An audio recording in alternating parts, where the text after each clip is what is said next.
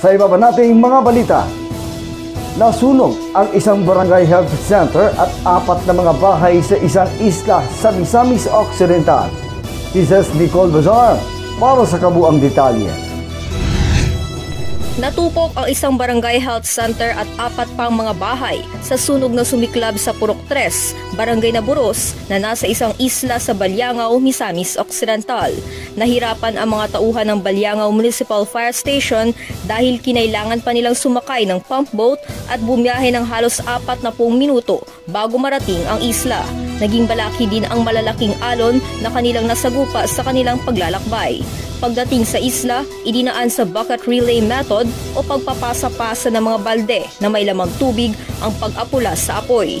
Katuwang ng mga bombero sa fire suppression operation ang mga residente ng isla at ang mga taga-barangay Manla, Barangay Kaluya at Barangay Nangka. Sa inisyal na investigasyon, nagsimula ang sunog sa bahay ni Maylene Corda at mabilis na kumalat sa kalapit na mga bahay na pawang gawa sa light materials. Inaalam pa hanggang sa ngayon ang naging sanhi ng sunog. Says Nicole Bazar, para sa Agila Pilipinas, matatag, matapang, matapat.